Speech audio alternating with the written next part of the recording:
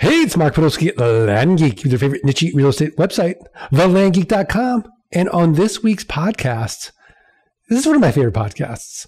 We have coaching grads, Jason and Clint Spearow, our first cousin duo. Scott Todd is out today. Jason and Clint, welcome. How are you guys? What's Good. up? Doing well. Nice to be here. So let's just get into it, fellas. Um, first of all, tell everybody how you got into land investing. So uh, we both grew up out in the country, an hour or two outside of Houston. Uh, did a lot of hunting and fishing. Our family had a bunch of land, and um, it, a good chunk of it though was an undivided interest. And um, we ended up losing a bunch of it around when I got out of college. Um, an investor bought everybody else's share and forced my parents to sell, or not sell, but subdivide it. Um, and so I was pretty devastated from that. You know, we lost a bunch of our land. Um, I always had this goal to get a bunch of land and um, had this drive for that. And um, some point, I think the end of 2014, a, a, uh, family friend contacted me and said, "Hey, there's some land next to your parents that's going up for tax auction." And so I jumped on that. I learned a lot about the tax auction. Um, I uh, was ready. I took a loan out. I was ready to buy this property. I spent a thousand dollars for a lawyer to do a title report for me, which is crazy, right? That I could do it now for like in five minutes and five dollars. You know, I could. um, right. But uh, I did all that, and uh, I learned a lot. And um, a couple days before the auction, you know, they struck it off the list. And uh, I was like, well, this is good because now instead of buying this property, I'm going to keep. Um, I could try to, you know, take what I've learned and try to buy more property. And around the same time, I was um, on a road trip with a coworker, a millennial coworker, who uh, introduced me to podcasts. I had never listened to a podcast before, and uh, so I first thing I looked up was about you know real estate, and I pulled up a uh, found something called Flip Nerd. And when I looked at the titles there, I found one that said invest in raw land. And it was a podcast that you did, Mark. Um, and I listened to that and took your advice and went to www.thelandgeek.com. Um, and from there, I just, I was just constantly watching all of your corny little videos that you made and, uh, got the toolkit and um, that was in yeah early 2015, and around that time, my kid, um, who was about one and a half at the time, stopped sleeping, and it was just really rough. Um, but um, I did buy a couple properties, and in October 2015, um, I went to the first boot camp and I asked uh, because I was so limited on time. I mean, I was working having to wake up at five, deal with long commute in Houston traffic. And, um, you know, I asked my cousin Clint, uh, to come join me. And, uh, he jumped on board and came to Vegas with me. And went yeah, to we went to boot camp. And I, I, didn't know anything about the Land Geek until I went to boot camp. I learned everything right there with you, man. That is that that's inc- that's crazy. I I remember meeting both you guys at that boot camp, and um, and Clint was like, like just like this character in the in the elevator, and and and Jason's like more the engineering type. And so, how how did you guys like structure it to to work together? Well, I also I have an associates in business, and I had worked in pawn shops for a long time. Um, so I had I'm the, his negotiator kind of. So that's yeah. kind, of, how it's structured. Yeah, and I mean I I had a re- I had a really good job um, with engineering and I mean I did some sales, project management. Um, I was a technical supervisor. I mean I had a really good job. And uh, but Clint was more. I really don't like having those awkward conversations with on the acquisition side. And I mean he's perfect. He spent all the time in the pawn shops. He's a, he's a dealer. Um, and so and we were practically brothers. I mean growing up, um, living next to each other, so um, knew it could work.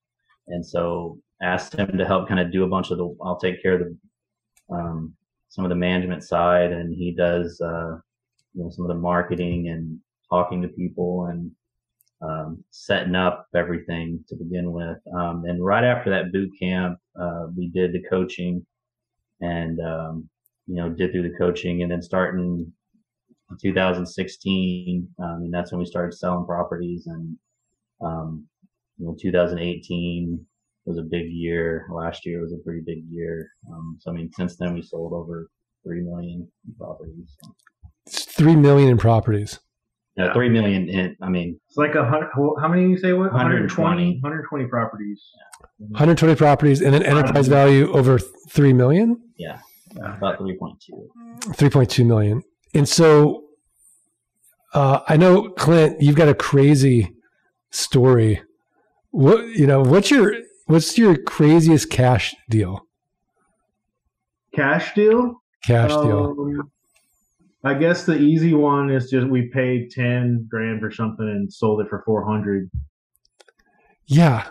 Tell me about that deal. like uh, like everyone listening wants to wants to pay 10 and sell it for $400,000. Yeah, well, in that one, well, first when we saw it, we're like, well, you know, we don't really know much about this area, but it is three three miles from a Walmart. You know, two miles. two miles from a Walmart. You know, you start looking into stuff like that. You're like, you know, this is an area that kind of has some stuff. You're like, I don't know. Um, but that was one thing. The other thing with that one, someone was trying to buy it for three hundred thousand, and I remember I negotiated with them. I was actually kind of driving, and I had just sent them a few short emails, and they they wanted to buy for three hundred thousand, and I said, oh yeah, I'll give you thirty acres for three hundred thousand, no problem. It was a 40 And it's 40 acres. and they said, uh, there's like, uh, um, well, we'll give you 35. And I said, I'll give you 35 acres for 350, no problem. And then they finally said, okay, we'll give you 400. So I negotiated $1,000 or uh, $100,000 while I was driving in like 20 minutes or something. But the, Mm, the wow. thing- yeah, the crazy thing with that was we had no idea because the market changed. You know, the demand in that area, and the market changed, and I had no idea. I thought maybe I thought it was a good deal. I thought we are maybe going to sell it for seventy grand, and Clint said, "No, we're gonna let's list this for like one fifty. And then we started getting calls, and we had an offer from day one for a hundred grand, and I was like, I just wanted to take it, you know, and that's why I Right. asked him, you know, um, because he, you know, was as broke as a joke as you know he was, Yeah, at that time, yeah. and he was like, I "No, was we need to turn it down." I was hungry for the money and I didn't like, you know, you can't walk away from the table when you know there's a lot that, you, Yeah. about to. because people called us and you know then it was like okay take it off the market relist it So yeah, we ended up marketing it for what we were marketing for 450 or something. yeah After we marketed it for 150. So that's a that's probably the only property we've changed we've marketed higher than we started with. And and you sold yourselves. You didn't have to use a, a local broker to get that kind of money. I assume you went through a title company. yes yeah so Yeah. so i mean pretty much what do you say i mean anything over kind of five grand or something that has a high potential just depends but we'll go to title companies a lot um the and then you know a lot of the other success we kind of took that that pumpkin plan approach of um, what was so special about this property and i found all the qualities of that and then i went to you know took a spent a little bit more time researching and found some just like it and you know quadrupled some of the offers is there's a big difference between two miles from the Walmart here versus out the other parts of this county where I knew people were offering, you know, hundred dollars an acre. And um, that got us several more properties that were, um, you know, I paid a lot more money for, but then, you know, we made, you know, we had another property, um, sold it for a few hundred grand and, um, we had another one that sold the same thing, but on terms. So, um, I mean, yeah, we have a term one that's a 20 year note. $600 for 20 years with like, what was it down? 50 grand. 50 grand down. for, and 2700 a month. Um, and we, we paid 60 for it and we only sold three quarters of the property. Yeah, we still own some So, of yeah, it. we, we kept some of it just to keep long term. Um, we do that too with a bunch of property, a bunch of stuff by where we grew up. We, we keep a bunch of those properties just to have. So, um, fully accumulating. I want to have a hundred thousand acres. You know? Yeah, I mean, the, the, these numbers are insane. They're just insane because I, think it's the biggest deal that I've heard of where somebody paid ten thousand and sold it for four hundred thousand. And we we had um, we had another one that was basically same as this property, and I, I went through the maps. I found another one, you know, somebody lives out of state, and I contacted them and, and bought it. But um, we had a deal; somebody was going to buy it for uh, half a million uh, cash, and um, they drug it along for a year, and it was just a bunch of headaches. And then COVID happened; a bunch of companies went bankrupt, and it was a mess. But we ended up selling it on terms. Um, okay. So, but I think we can't beat the that one deal. No. And but those other deals uh, are they happen all the time. The smaller deals, the you know, you buy something five or ten, sell it for fifty, and that happens a lot. So. No, I mean, and those, I mean, those are those are still, you know, we spent for five, ten, sell for fifty. That's that's a solid, you know, triple right? Yeah. Um, for sure. Those are great deals. Um, so how much time are you guys working actually in the business? I barely do anything. I mean, I, I travel a lot. I mean, I work some, but I, I don't I don't remember the last time I've worked like 15 hours a week. Yeah. I can't tell you the last time I worked 15 hours a week. When we started up, I was sure maybe working 60 hours a week doing, you know, starting it up, making the website, all that stuff. But in the past three years, nah, I, yeah. I'm just hanging out. And I, um, I was fortunate. I mean, I said I had a, a good job, um, in a great position, but the commute was, it was like that opening scene of Office Space where you're just, it was brutal. And, um, you know, I had two young kids and I wanted to be home. So in, in 2019, um, I, uh, you know, I left that job and I um, took a little vacation and I, I still work with them part time as a consultant. Um, so I, you know, I may work four to, you know, 15 hours a week with that. And then I, you know, just work an hour or two a day on land. So, so you're both kind of retired. Yeah.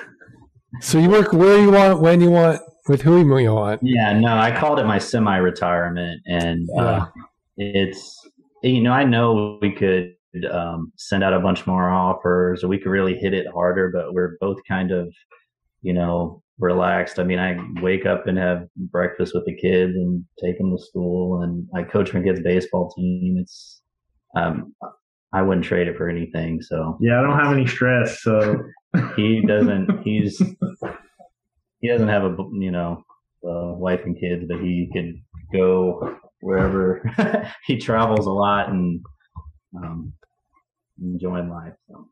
Wow. Okay, so I'm listening to this, and I'm a newbie, and I want to be like Jason and Clint and be retired in a few years. What what advice would you give people?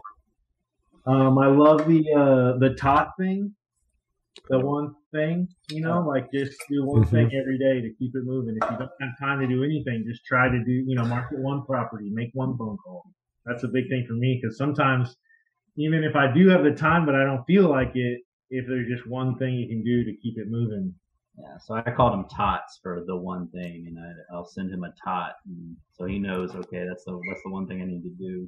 Um, and I call it the Tots. Um, I mean, really, just if you're motivated or if you really want to do this, go just go get all the resources that you offer and you know do the coaching do whatever you need to do and I mean, you won't be just disappointed. I know when i i was a about as penny pincher as you could get. I was very conservative with my money and so spending money was very hard for me. And you know after watching you know listening to a bunch of your podcasts and everything else and um dealing with the commute i mean i just i wanted to do something and um, I remember talking to you and you said this was best investment you ever make, and there was no question it was. It was. You know, so. Oh yeah, I, I, remember I had to push you, Jason. uh, but it was funny, you know, sitting there watching these videos, and you know, my wife was there next to me looking, and she's like, "Is that that uh, Russian car salesman guy? Like, what is?" like, I'm like, he's like, you watching that videos again? And um, you know, I thought I thought she was to give me a hard time. She was very, you know, she was supported and trusted me that I knew I was doing.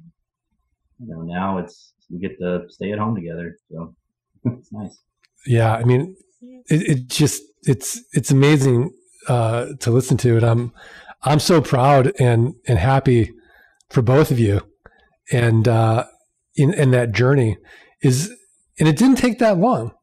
I mean, 2015 really, what it was about three years then.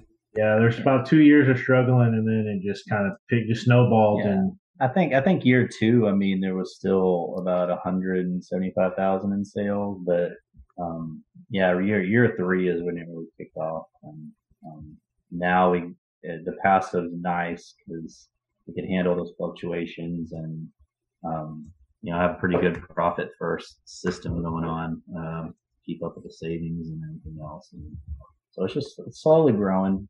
And Wow. Is is there any other time saving techniques you guys would recommend to people? Any software or services that you you really like? I mean, my tip of the week is something like that. Okay. Well, don't tell us yet then. Yeah. no, I mean, yeah, really just doing one little thing a day. Uh, I mean, I'm a Excel guru, so I'm I do a lot of that. Uh, the scrubbing and everything else is just nothing for me. Um, so What's your what's your fixed overhead like with your virtual assistants?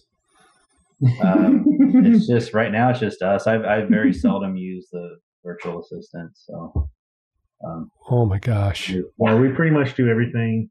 We tried to hire an assistant one time. Well, the other thing is, I was kind of over my head doing a little too much, spinning too many plates. And I also then tried to hire someone.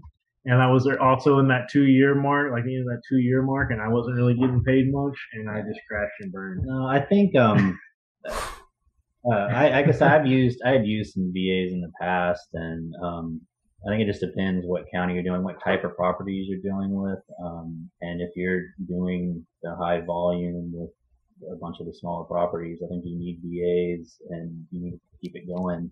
And it's whatever your bottleneck is. Um, I think a lot of people the bottleneck is kind of scrubbing the list to, get the offers out, and um, that's not really a problem for me because I scrub them pretty quick. Um, um, if I get to a county where it's just being a little complicated to do that, then I could send it out to a VA. But um, the title search and everything else, I usually I take care of it, or it's going to the title company. Um, and the yeah, I don't know what else. Um, but there's we're getting to the point we, want to get bigger. You you kind of need to get those. I think that's the one thing we need to really get to is uh, bringing in those assistants. Oh, yeah, you did just start uh, sending the offer letters out different, right? I mean, so I mean, because I do a lot of the stuff, um, you know, myself. Uh, I don't send out a ton of offers, um, uh, and you know, my daughter likes kind of taking the little sticky thing off the envelope. So, but um, yeah, I mean, we did all this with just really pretty much us. So. Amazing. And, and what about funding? Do you guys have outside funding? Do you self fund? Oh, no, it's self fund. I started out, um, you know, I was trying to buy that property by my parents. It was a like a twenty five thousand dollar loan, and then I sold about ten or fifteen thousand in stocks I had because um, they're stocks. right, right. And uh, and then you know I added some more money that I had to it, um, but that's pretty much it. Um, and then you know, mainly, mainly some of those big deals that kind of replenished it. And, wow. So what, what does the family think of all this? Well, my, it's funny. My, my mom, you know, over the years, every time she finds out, she's so, you know, she's so worried and, and more conservative than I am when it comes to spending things. And it's just funny listening to all the people trying to talk you out of it or saying, "Oh, you sure about that? You sure?" you bought that? another property? Oh, you better watch out. You better watch out for that. Um, yeah, you don't want something over there. That's the bad area. I'm like, no, it's there. You better watch out for water. It might not have water. I'm like, well, these people know it doesn't have water. that means I could buy it for cheap. so, um, yeah, there's a lot of not listening. You know, not listening to people. Um, But Otherwise, I think they're stoked to see success. Yeah, no, no, everybody's supportive and happy. It's just they don't. Nobody understands really how how we're doing it. So.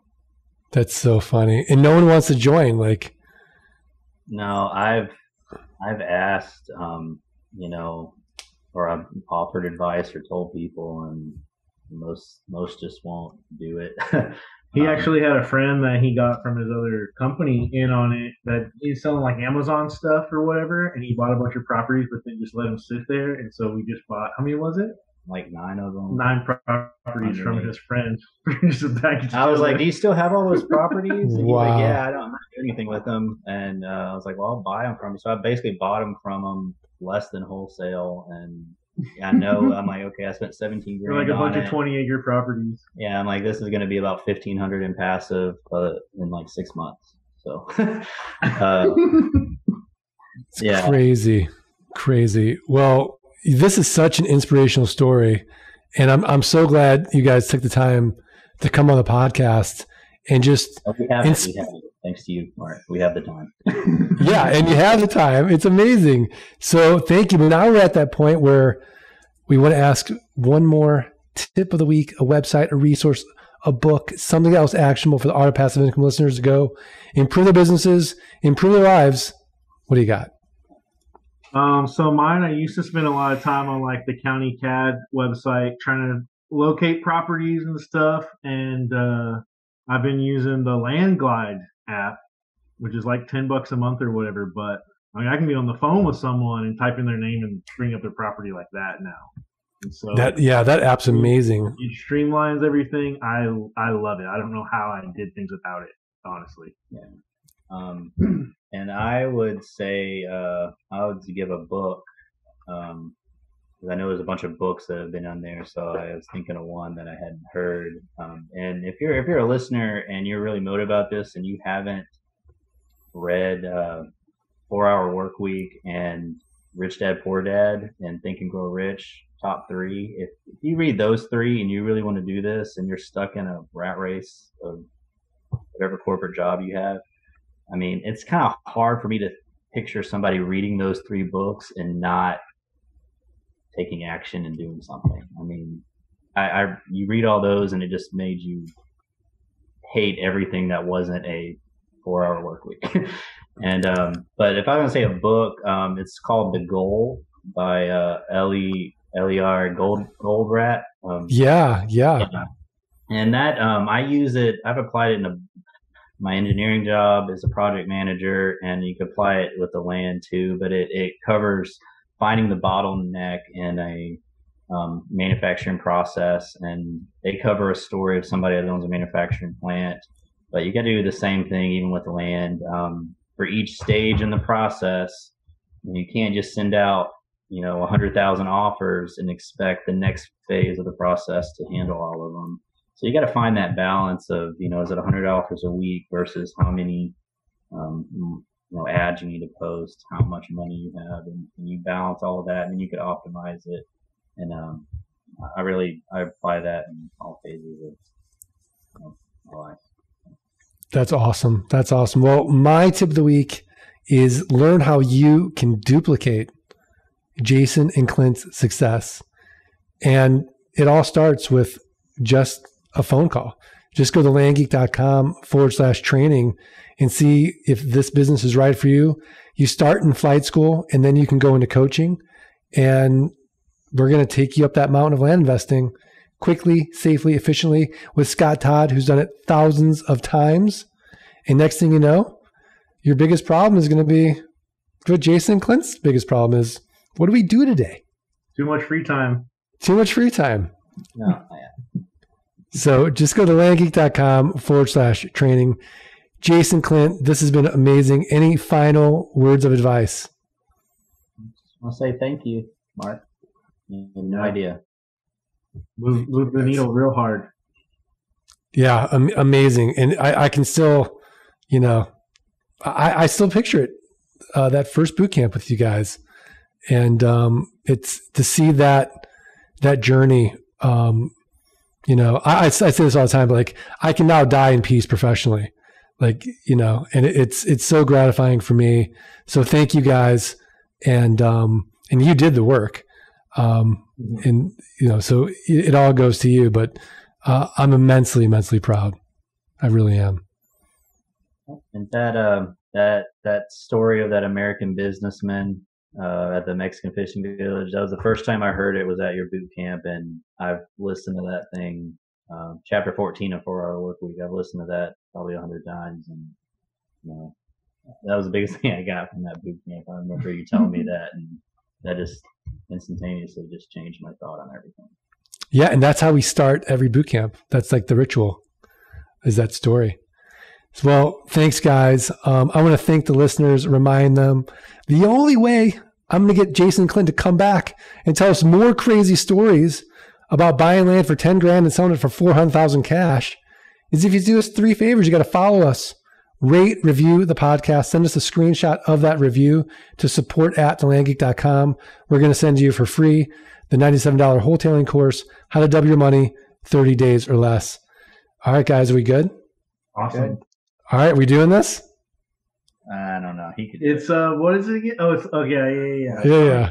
One, two, three. Let, Let freedom, freedom ring. ring. Thanks, guys. Thank you. Later. Later. Thanks for listening to the Art of Passive Income podcast. Start your journey at www.thelandgeek.com and www.scotttodd.net. Rate and review the podcast and email support at thelandgeek.com. Your screenshot for a free passive income launch kit.